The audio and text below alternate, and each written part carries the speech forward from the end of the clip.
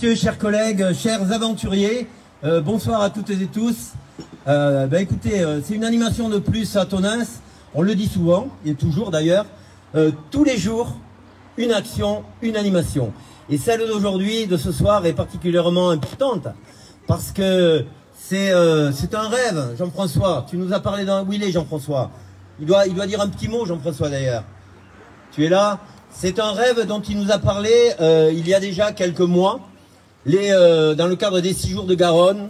C'est de partir de Tonins, Tonins, imaginez, Tonins, euh, capitale centrale du Lot-et-Garonne, ou du moins ville centrale du Lot-et-Garonne. Je suis fier, hein, Madame la députée et Monsieur le sénateur. Mais toi, c'est normal que tu le sois aussi. Euh, ville centrale du Lot-et-Garonne.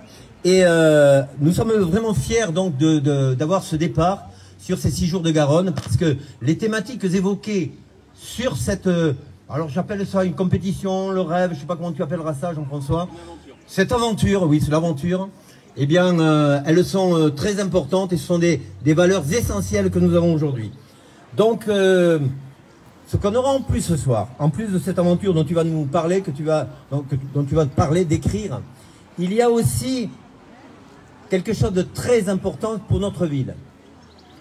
Gwenaël Bourdic, un jour, s'est installé sur Tonins il a créé une asso qui s'appelle Hydrogène Vallée.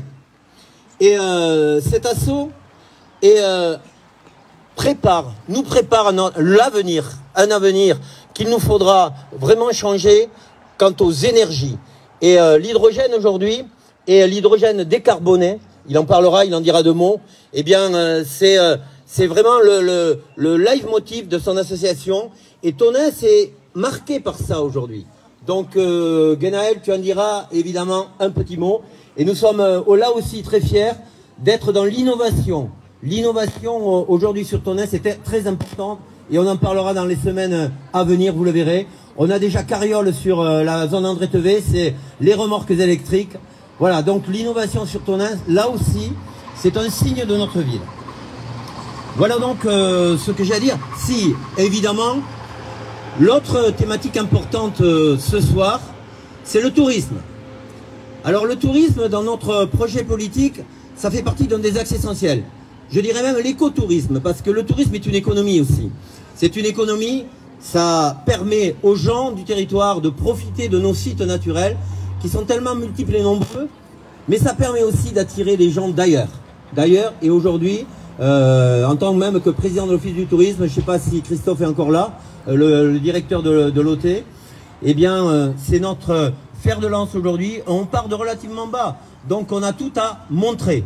Et sur Tonins, on a lancé déjà, nous, les élus, on, a fait donc ce projet touristique, hein, magnifique projet touristique, qui consiste à avoir refait les roches, ou du moins aménager nos sites des roches. Pour ceux qui ne les connaissent pas, allez-y.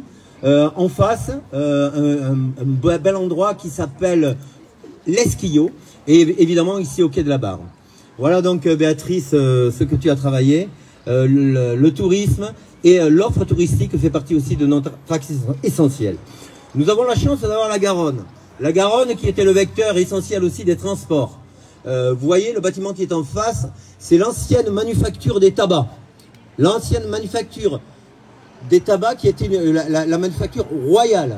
Lorsque la voie ferrée est arrivée, elle s'est déplacée, elle est allée en centre-ville, sur la voie ferrée, et euh, avec l'énorme monument que nous avons aujourd'hui, et que nous travaillons, Madame le député, Madame Laporte, nous l'avons visité euh, l'autre jour.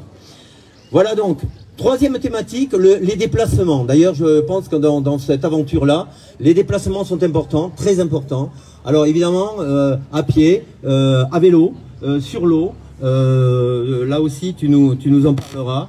Euh, ce que nous avons voulu aussi mettre en, exergue aussi, c'est que cette mobilité, eh bien, elle est, pour, elle est pour tous. Elle est pour toutes et tous.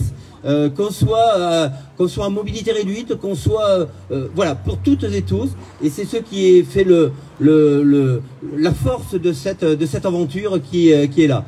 Bon, moi j'ai eu la chance d'être un peu aussi aventurier dans ma vie, voyager, et euh, ça c'est un beau voyage qui va nous amener jusqu'à euh, Royan.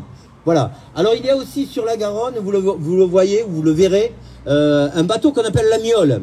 La Miole, c'est la gabarre, c'est le bateau de, hier qui euh, transportait les hommes, les, femmes, les, les, marchandises, et qui permettait évidemment ce, ce, trafic économique avec ces bateaux d'autrefois. Nous avons une réplique de cette miole qui est magnifique, magnifique, et vous pourrez la voir. Et, et demain, demain, on part avec notre beau bateau, qui est un peu notre fierté communale, je dirais même territoriale aujourd'hui.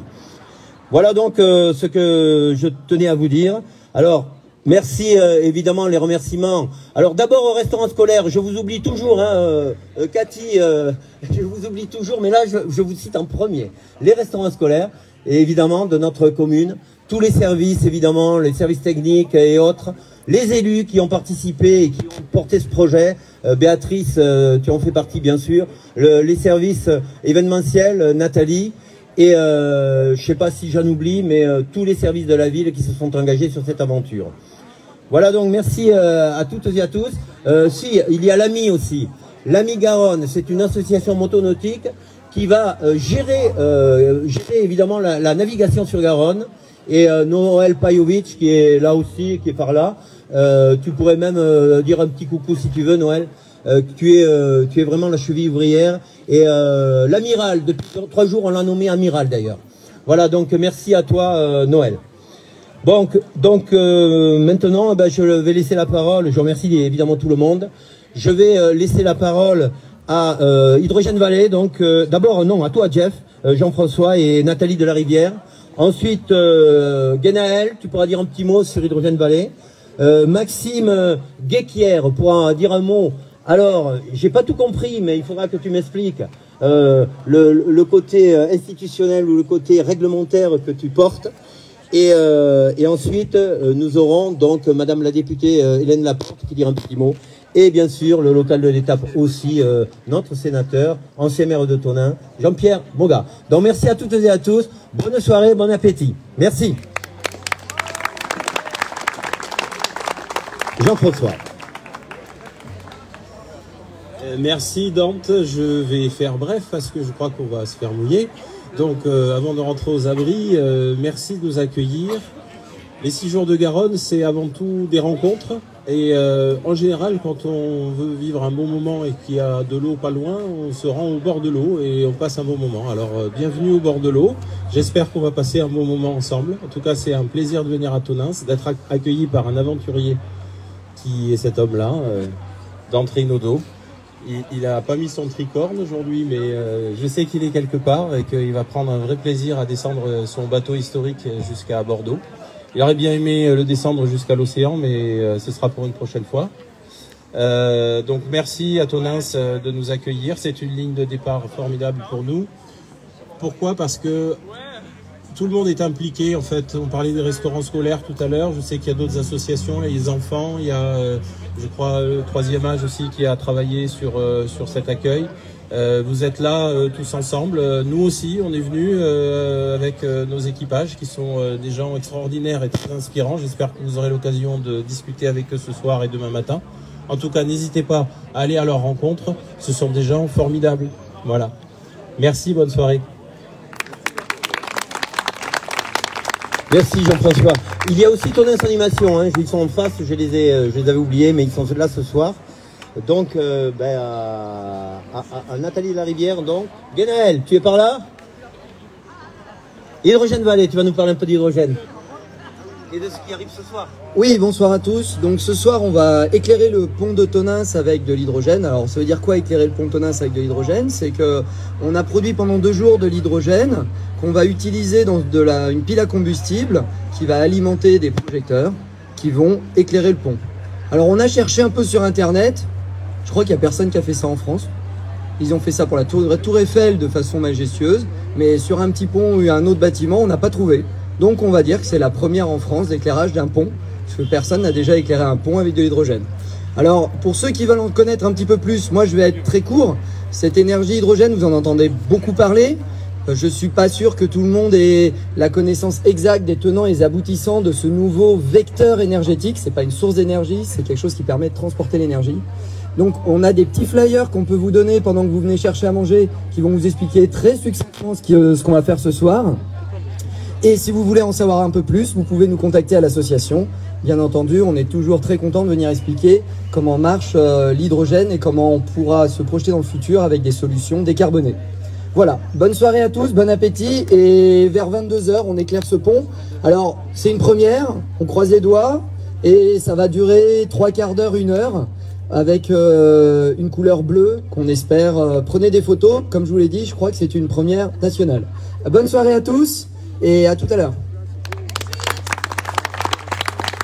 Merci euh, c'est une fierté, hein, première nationale, d'éclairer le pont à, l'hydrogène.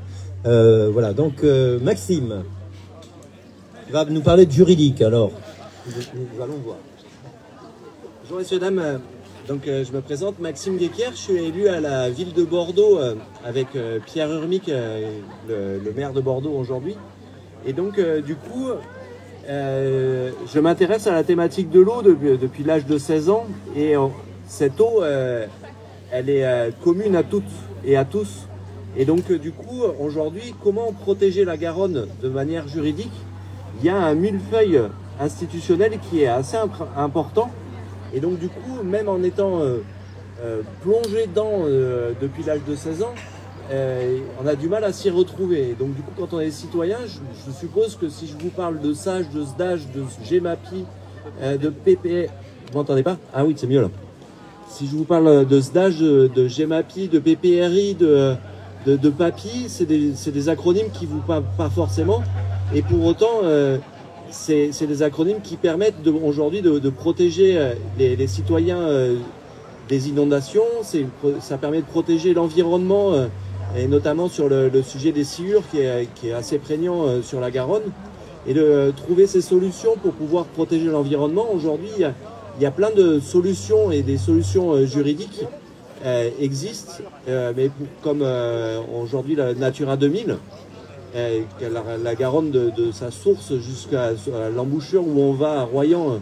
je suis venu aujourd'hui à Tonins pour partir en aviron jusqu'à Royan, donc à la rencontre des élus du fleuve euh, ici présent. Et, du coup, je trouve ça intéressant parce que protéger l'environnement, c'est quelque chose qui est normal, important, mais protéger aussi les citoyens qui vivent autour du fleuve, c'est tout aussi euh, important. Et protéger les activités économiques qu'il y a euh, autour de la Garonne est, est, aussi nécessaire. Et donc, du coup, où trouver le juste milieu entre l'environnemental, le social et l'économique, c'est tout, tout un art.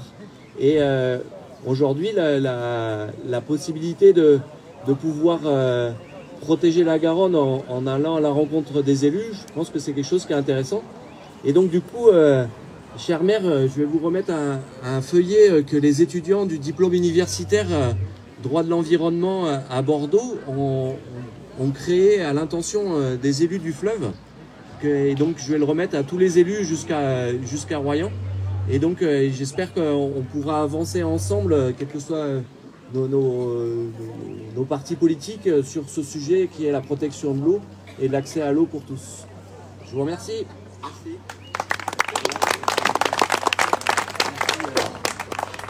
Merci. à vous. bon, l'environnement, évidemment, ça fait partie des thématiques importantes que nous avons dans ce, dans ces six jours de Garonne, la protection de notre nature qui a été malmenée ces, décennies, je dirais même le, siècle. Et euh, donc c'est très très important. Et, le problème de l'eau, et vous l'avez dit monsieur, est particulièrement important, tu l'as dit Maxime, euh, est très important. Mais faites passer le message d'un agriculteur. Lorsqu'on a beaucoup d'eau, lorsqu'on a beaucoup d'eau, il faut la stocker pour euh, les instants où on en a moins. Ça, ça fait partie aussi d'une philosophie qu'on défend grandement. voilà, je me permets aussi de le dire. Alors maintenant, Madame la députée, Hélène Laporte, récemment élue. Ça y est, ça va bien. Bonsoir à tous. Je me présente pour ceux que je ne connais pas. Il y en a un certain nombre puisque notre circonscription est importante. Je m'appelle Hélène Laporte, je suis la nouvelle députée. Nous partons ensemble pour cinq ans. Ce sera un mandat que je veux dynamique et pour lequel je serai vraiment au plus proche de vous, je viendrai régulièrement dans toutes ces manifestations qui sont la promotion de notre territoire et qui ont des retombées économiques et touristiques pour ici. Ici, je suis très heureuse d'être là ce soir parce que cette manifestation, elle met en évidence le dynamisme de Tonins. Tonins qui a aussi des choses sur lesquelles il faut évoluer. J'ai rencontré euh, Monsieur le maire la semaine dernière. On va travailler ensemble, notamment sur la désertification médicale, quelque chose d'important dans notre circonscription. mais également sur un point de vue national, sur la paupérisation de la société en général. Dès la semaine prochaine, au niveau du gouvernement, on va étudier la loi sur le pouvoir d'achat. Je m'engage à vous rendre compte très régulièrement de mes travaux. D'ailleurs, je vais ouvrir une permanence qui sera ouverte tous les jours et dans laquelle je serai présente le lundi et le vendredi. Le local n'est pas encore défini, mais je serai certainement à Tonnes ou bien à Marmande et je vous invite vraiment à venir m'y rencontrer parce que mon but et mon rôle, c'est de remonter les choses du département directement à Paris pour faire avancer notre département. Vous savez qu'on fait partie du département les plus pauvres après la Creuse dans la Nouvelle-Aquitaine. Il faut que ça change parce qu'on a la chance d'être dans un département avec beaucoup d'atouts. Je parle au niveau touristique, au niveau de l'ensoleillement, au niveau de très belles entreprises qui sont ici. Donc on doit pouvoir retrouver un dynamisme que nous avons perdu.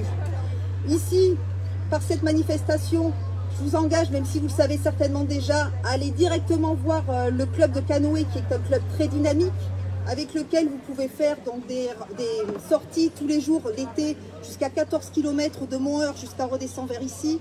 Donc profitons de toute cette chance que nous avons dans notre département. Voilà, je vous remercie. Je remercie bien sûr tous les bénévoles qui ont permis cette manifestation ce soir. Bien évidemment la restauration scolaire, puisqu'on a la chance d'avoir plus de 800 élèves ici sur Tonins. Je vous souhaite une très belle soirée, puis j'espère à très bientôt.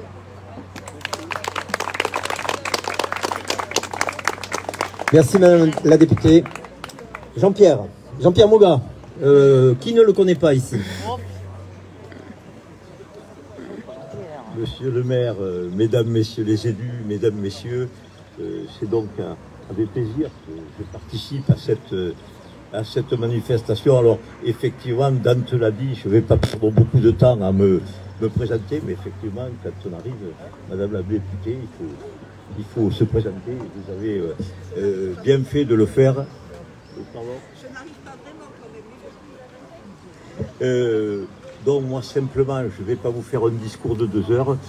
J'ai entendu des choses fort intéressantes concernant l'eau, le, problème de l'eau qui est un véritable problème. Moi quand j'étais en première, alors je ne vous dirai pas quand, c'était au siècle passé et, un peu plus après la moitié, j'avais un prof qui s'appelait Gali, et qui nous disait Moi, je ne le verrai pas, mais le problème du siècle suivant, vous, vous allez le voir. Alors, il avait sa vieille, sa blouse grise, il avait 60 ans, pour nous, c'était un vieillard, quand il avait 15 ou 16 ans, et il nous disait Le problème de ce siècle, ça sera l'eau. Et on, me faisait sourire, mais je pense souvent à lui, chaque fois qu'il y a des lois qui passent sur l'eau, et qu'on essaye de faire un certain nombre de choses sur le sujet, qu'il faut faire. Euh, je, pense à, mon professeur euh, qui a disparu, je pense, depuis longtemps. C'est donc euh, quelque chose de important. Les sujets que vous avez abordés, monsieur le maire, les uns les autres, le tourisme, GEMAPI, effectivement, les, protections, euh, un certain nombre d'erreurs aussi qui ont été faites par le passé à corriger par rapport aux digues, etc. Et qu'il faudra faire comprendre loin aux, gens. Nous travaillons aussi au Sénat sur une proposition de loi avec les Bordelais d'ailleurs. Euh, et bon, on aura l'occasion euh, d'en parler. Bon, écoutez, je ne veux pas être plus long.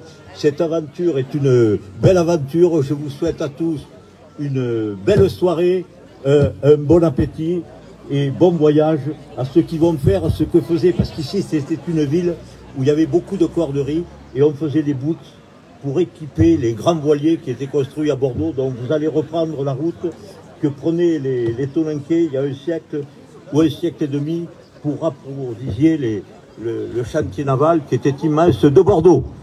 Voilà, merci à vous et, bonne soirée. Merci Jean-Pierre.